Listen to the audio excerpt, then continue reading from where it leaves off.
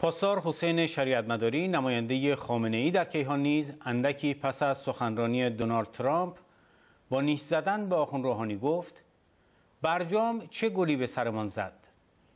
در اینجا توجه شما را به گزارشی از واکنش های مهره ها و رسانه های رژیم نسبت به سخنرانی رئیس جمهور آمریکا جلب می‌کنیم.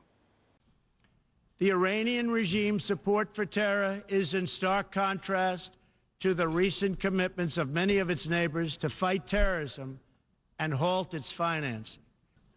The entire world understands that the good people of Iran want change. And other than the vast military power of the United States, that Iran's people are what their leaders fear the most.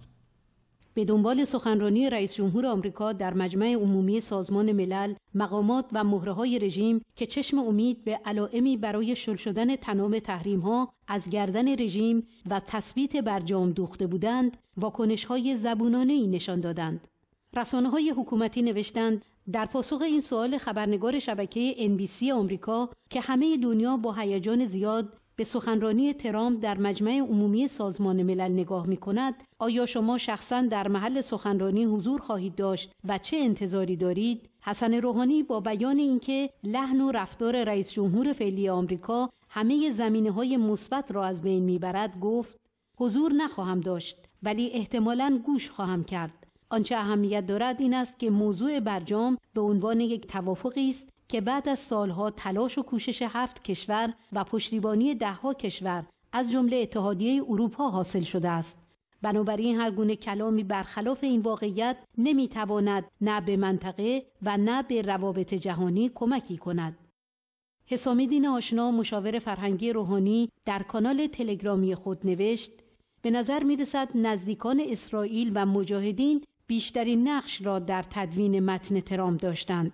در این ادبیات کمترین اثری از روحیه دیپلماتیک وزارت خارجه آمریکا یا عقل متعارف دیپلماسی آمریکا وجود نداشت. ظریف در واکنش به اظهارات رئیس جمهور آمریکا در مجمع عمومی سالیانه سازمان ملل در توییتر خود نوشت سخنرانی سخیف و نفرت آلود ترامپ متعلق به قرون وسطاست نه سازمان ملل متحد قرن 21 که ارزش پاسخ دادن ندارد. کسی فریب همدلی دروغین با ایرانیان را نمی‌خورد. شمخانی وزیر دفاع روحانی در وفاداری نظام به برجام گفت آژانس بین المللی انرژی اتمی هفت نوبت پس از برجام پایبندی کامل ایران به تعهداتش و ماهیت و روند صلحآمیز فعالیت‌های هسته‌ای کشور ما را تایید کرده است و هر گونه فضاسازی رسانه‌ای طرف مقابل و اتهامزنی واهی که با هدف عملیات روانی صورت می‌گیرد فاقد ارزش و اعتبار است. بروجردی رئیس کمیسیون امنیت مجلس ارتجاع نیز گفت ترامپ با اظهارات امروزش در مجمع عمومی سازمان ملل عمق دشمنیش را با نظام مستقل جمهوری اسلامی نشان داد. علی خرم سفیر اسبق در مقر اروپایی ملل متحد گفت اظهارات دونالد ترامپ سخنانی خارج از عرف دیپلماتیک بود. پاسدار رضایی دبیر مجمع تشخیص مسلحت نظام هم در این میان نگران انزوای آمریکا شد و نوشت این دولت آمریکا را از آنچه هست بدنامتر و منزویتر می کند. ادامه خبرها آخون جنتی رئیس خبرگان ارتجا با اعتراف به تنفر معلمان از رژیم ولایت فقیه و پاسداران و بسیجیان رژیم گفت اگر معلمی ضد ولایت فقیه می‌گوید باید به مقامات بالاتر اطلاع دهیم یا خودمان با او برخورد کنیم وظیفه ما این است که راهی برای ارتباط با دانش آموزان پیدا کنیم. رئیس خبرگان ارتجا افسود ادهی پیدا شدند که با ولایت فقیه مشکل دارند و برای این مسئله به سپاه حمله می کنند شما دیدید که در انتخابات اخیر چه حرفهایی علیه سپاه زده شد و, سپ... و به سپاهی ها لقب تفنگدار دادند مگر تفنگدار بودن بد است؟ نماینده خامنه ای در سپاه پاسداران در جلسه خبرگان ارتجا خواستار دقت ویژه و فوقالعاده در زمینه شرایط سرنگونی شد و گفت تکرار فرمول سقوط شوروی و استحاله انقلاب چین از اهداف آمریکا با حربه نفوذ در نظام است که مدل مورد اجرا در نظام نیز جهانی شدن بدون توجه به اصول و مبانی و الزاما توجه به سیاست اقتصادی درهای باز است.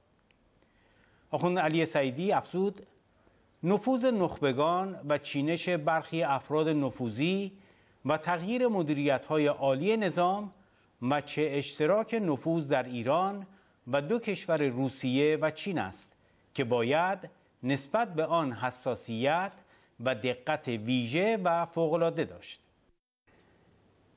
آخوند علم الهدا نماینده خامنه‌ای در مشهد درباره سرخوردگی در میان نیروهای رژیم گفت در بعضی موارد فتنه به وسیله عملیات روانی در خودیها صورت می‌گیرد. و در بین عناصر انقلابی نسبت به ترویج ارزشها ایجاد ناامیدی می کند. و افزود این گونه نیست که دشمن همیشه عملیات فتنه را از طریق نفوذ در جریانهای مقابل انجام دهد در بعضی موارد فتنه به وسیله عملیات روانی در خودیها صورت می‌گیرد نماینده خامنه در مشهد با سوز و گداز از بیاعتباری ولی فقیه ارتجا گفت این از فتنه دشمن است که روحانیت را سوژه عملیات روانی خود قرار داده تا جامعه روحانیت را در تقابل با منکرات شرعی و دفاع در برابر تهاجم به ارزشهای دینی باز بدارد و در نتیجه مقام ولایت تنها مانده و عموم حجمه ها به ستون خیمه نظام متوجه شود.